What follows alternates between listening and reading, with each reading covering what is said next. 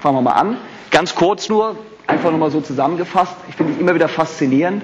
Machen wir uns bewusst, 1975 ist Microsoft gegründet worden. Ganz, ganz kleiner Laden in, in, in Washington, State Washington. Und äh, wow, was hat sich in der Zeit alles verändert? Also mit welchen Produkten hat das angefangen?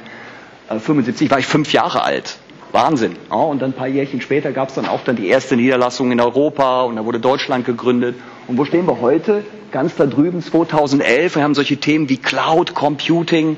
Das ist Universen von dem entfernt, was es mal war, 1975. Und das wird auch, hoffe ich zumindest, auch so bleiben. Und die Schnelligkeit, glaube ich, ist uns allen bewusst. Ich finde das immer noch, immer wieder, auch nach zwölfeinhalb Jahren Microsoft, immer wieder absolut faszinierend, was mag da wohl noch alles auf uns zukommen.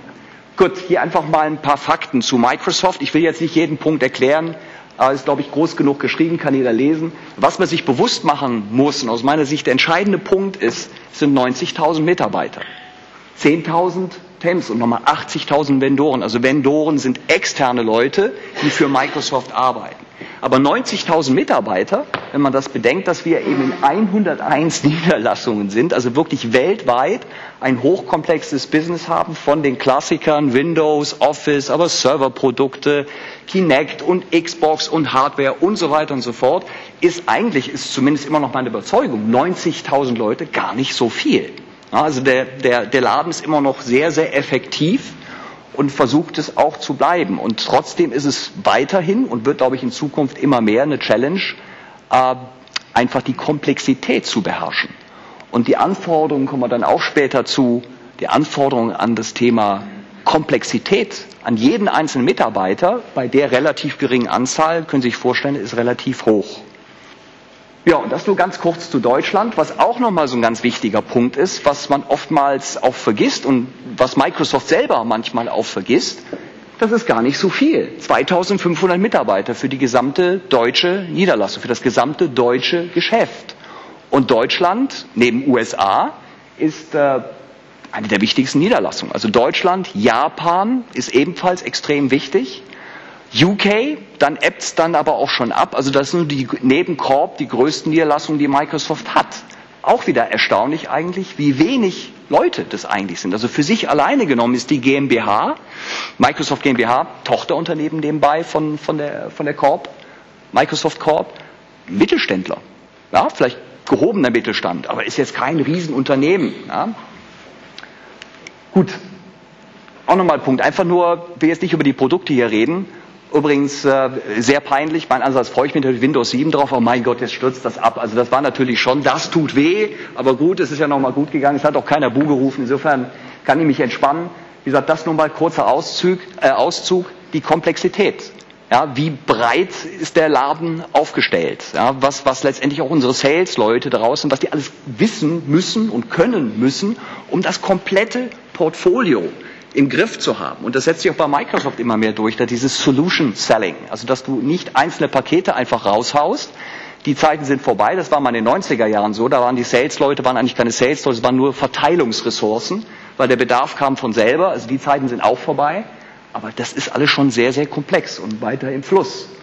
Und genau in den Kontexten, das ist auch wiederum nur ein kleiner Auszug.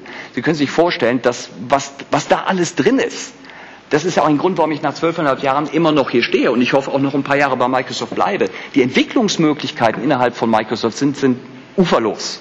Also man kann alles machen, was, was man sich so vorstellen kann, in allen möglichen Produktbereichen. Du kannst in der ganzen Weltgeschichte äh, rumreisen, du kannst die Niederlassung wechseln, wie du lustig bist, du kannst nach Asien gehen, du kannst nach USA gehen, whatever. Also steht alles offen. So, das ganz kurz eben, so tickt Microsoft oder so sieht Microsoft heute aus. Jetzt kommen wir mal zum spannenden Teil. Ja, was heißt denn eigentlich bei Microsoft eben Entwicklung? Und ich will jetzt gar nicht so sehr mich auf die einzelnen Slides, einfach auch hier, Slides sind für mich eher eine Zusammenfassung, sondern für mich, ich will den Punkt rüberbringen, und da stehe ich selber für, dass Microsoft legt unglaublich viel Wert darauf, was machst du selber als Mitarbeiter aus dir. Na, du kriegst die Unterstützung. Es wird hier all das dir geboten als Mitarbeiter. Ob du das nutzt, liegt bei dir. Es kommt keiner ums Eck. Und ich glaube, das ist nicht nur bei Microsoft so, das ist bei vielen amerikanischen Unternehmen so. Es kommt keiner ums Eck und nimmt dich an die Hand und erklärt dir das. Ja, und guck mal, internationales Umfeld. Hast du nicht mal Lust, nach Redmond zu gehen? Das macht keiner. Das macht im besten Fall der direkte Manager, der mal nachfragt, aber es liegt unglaublich viel in der Selbstverantwortung vom Mitarbeiter. Das Rahmenfeld versucht Microsoft, das Rahmenumfeld oder den Rahmen versucht Microsoft zu geben. Was du selber daraus machst, liegt bei dir. Dieses 70-20-10-Modell bitte nicht mit, äh, mit Jack Welch verwechseln und dem entsprechenden Performance Management. Das ist auch so 70-20-10. Das ist was anderes hier. Und hier geht es wirklich darum, dass es darum geht, die Mitarbeiter eben zu fördern, aber auch viel Verantwortung in die Hand von Mitarbeitern zu geben. Und eben 70 Prozent erwartet die Firma Microsoft, dass der Mitarbeiter für sich selber investiert. Dass er während seiner Arbeitszeit das, auch all das, was ich hier gehört habe, E-Learning und die ganzen Online-Geschichten und auch die Social Media, die man anfängt, eben intelligent, das zu nutzen. Was willst du? Wer bist du? Wo liegen deine Stärken und Schwächen? Und was meinst du denn, an welchen Schrauben kannst du selber drehen? 20 Prozent wirklich konkretes Mentorship und Coaching. Auch da gibt es ein internes System. Wie, wie kriege ich einen Mentor? Wer kann denn mein Mentor sein? Wer hilft mir dabei, einen Mentor zu finden, der mir in diesem selbstreflektiven Prozess hilft? 20 Prozent. Und nur 10 Prozent ist wirklich konkretes Training.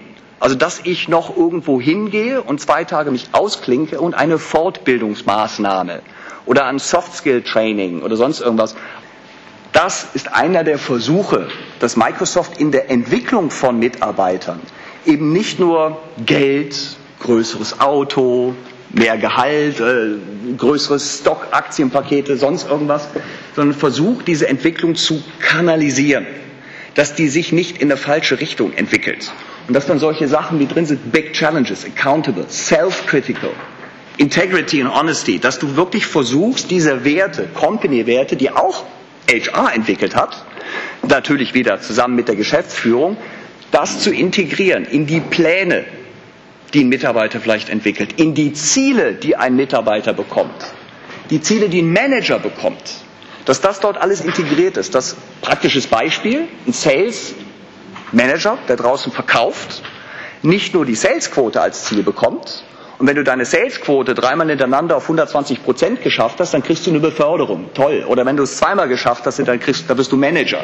Sondern dass die Firma versucht, diese Werte, diese Grundwerte dort mit einzubauen und konkrete Ziele daraus zu bauen, sodass ein Mitarbeiter den klaren Eindruck von allen Seiten bekommt, ich werde eben nicht nur rein an meinen Zahlen gemessen, bewertet und gefördert, sondern es wird auch darauf geachtet, wie ich das mache, wie ich die Ziele erreiche. Jeder Mitarbeiter, egal welches Level, vom Junior bis zum allerhöchsten Chef der Microsoft GmbH, bekommt am Anfang des Fiskaljahres, was im Juli anfängt, eine Zielvorgabe. Und da steht drin, was sind deine konkreten Businessziele? Was sind deine Behavior-Themen? Was ist dein Execution Plan? Das heißt, how? Wie kommst du denn dahin? Was ist dein Weg? Wie hast du das vor?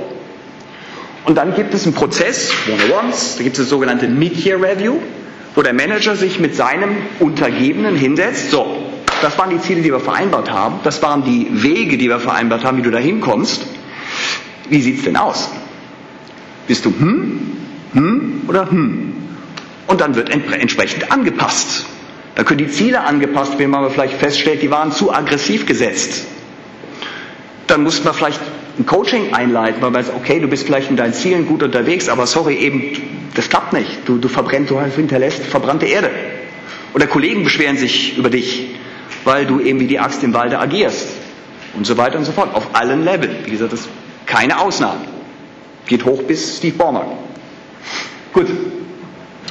Dann gibt's wieder, nach dem Media Review, gibt's dann wieder normale Meetings, One-on-Ones, werden da wieder regelmäßig, wie das die, das jeweilige Team gerne selber baut. Und dann gibt es am Ende des Jahres dann eine Performance-Bewertung mit Noten, wie eben schon erwähnt. Das ist dann quasi die Konsequenz aus dem, was über das ganze Jahr über passiert ist. Und dann hast du halt, wenn du Glück hast, ein sehr gutes Rating. Und wenn du Pech hast, kein so gutes. Letztendlich ganz easy. Wichtig ist, weltweit einheitlich, da kommt er wieder ganz kurz nur, da haben wir manchmal, gebe ich dann auch zu, in Deutschland ein Problem, denn wir haben, wie gesagt, einen Betriebsrat. Und der Betriebsrat ist gerade, was solche Themen angeht, Zielsetzung, Bewerten, auch gerade wenn es dann eher so in die niedrigen Noten geht, sehr kritisch. Das ist auch Ihnen nicht vorzuwerfen, das ist ja der Job vom Betriebsrat. Nur das ist dann für uns als HR, da sind wir wieder auch sehr, sehr stark mit drin. Also meine Chefin, das ist die Personalchefin für die Deutschland GmbH, ist in diesen Diskussionen mit dem Betriebsrat sehr aktiv. Manchmal mehr, als ihr das lieb ist.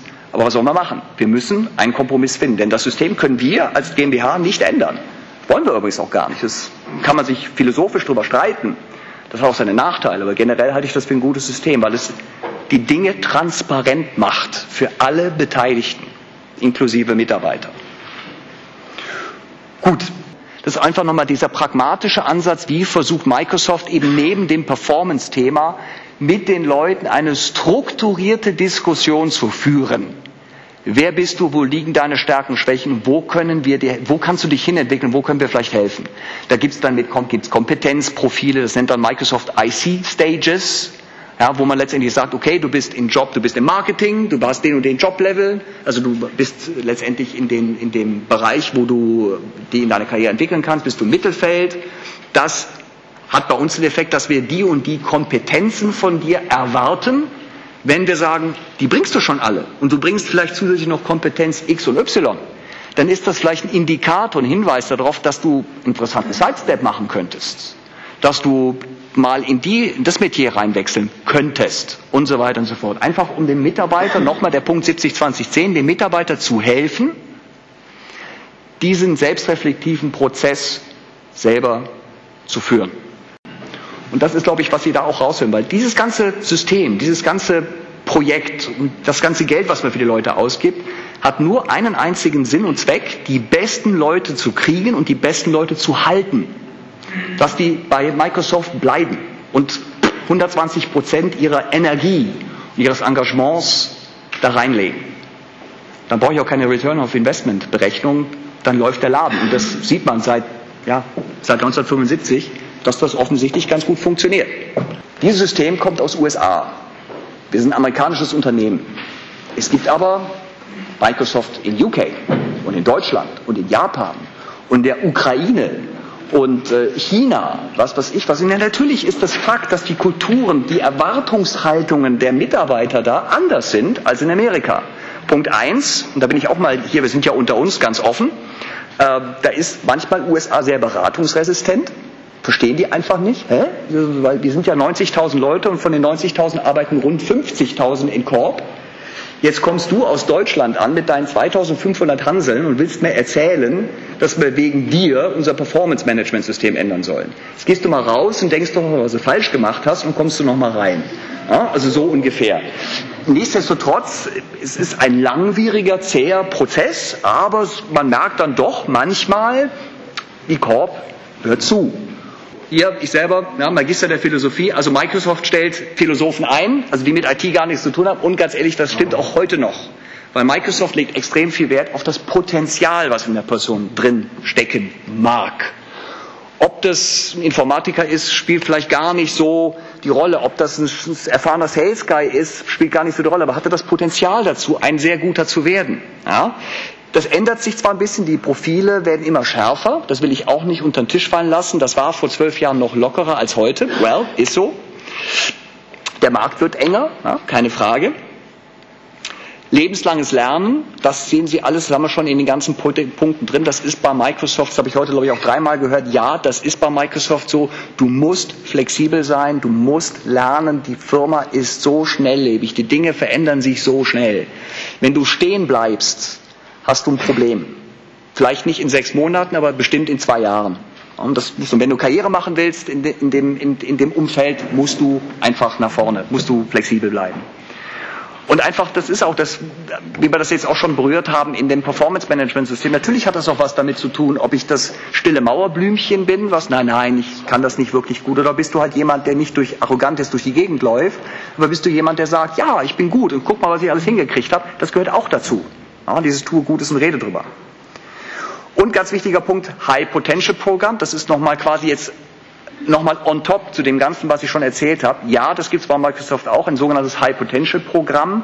Dort wird dann quasi aus der Community an Einserkandidaten, die exzellent waren, werden nochmal vier Prozent rausgefiltert, wo wir sagen, das sind die absolut Spitzenpotenziale. Und da gibt es dann auch nochmal ein extra Förderprogramm. Das ist dann unabhängig von diesen zehn Prozent, die ich eben genannt habe. Da wird nochmal richtig äh, auch Geld und auch Trainingsmaßnahmen investiert. So, Genau, Management ist auch immer wieder was gerne bei Personalentwicklung. Das kommt zumindest von Mitarbeitern sehr häufig. Ja, ich will Manager werden. Das ist mein nächster Step. Das ist dann eine ganz tolle Karriere, wenn ich das mache. Und wenn Microsoft mich das machen lässt, dann ist das eine ganz tolle Mitarbeiterförderung. Das mag in dem einen oder anderen Fall stimmen. Bei Microsoft sind wir da relativ auch strukturiert unterwegs. Es gibt Management Assessment Center. Das heißt, wenn ein Mitarbeiter Manager werden will, dann muss er da durch. Das ist ein ziemlich komplexer Prozess, kann bis zu einem Jahr dauern mit einem abschließenden Assessment über drei Tage, Assessment Center. Ja, wenn es klappt, dann herzlichen Glückwunsch. Und wenn nicht, dann geht es halt anders weiter mit der Karriere. Das ist ein wichtiger Punkt, das tut manchmal den Leuten sehr weh, aber ich weiß auch da, wovon ich rede. Genau den Prozess bin ich durch. Ich fand es sehr toll und selbst wenn es nicht geklappt hätte, ganz ehrlich, hätte ich das als sehr, sehr hilfreich empfunden, weil einfach da mal durchzugehen, ist einfach eine tolle Erfahrung. Junge Leute holen wir auch rein mit diesem Mach-Programm, das explizit für Leute frisch von der Uni, also genauso wie ich damals, vor zwölfeinhalb Jahren, frisch von der Uni, von IT keine Ahnung, aber tolles Potenzial, holen wir rein, Training für ein Jahr, Ramp-up in Marketing, Sales und so weiter und so fort. Und wie schon mehrfach erwähnt, Selbstverantwortung bei Microsoft extrem wichtig. Und die Firma ist international, wie am Anfang erwähnt. Die ganze Welt steht einem offen. Man muss es nur wollen.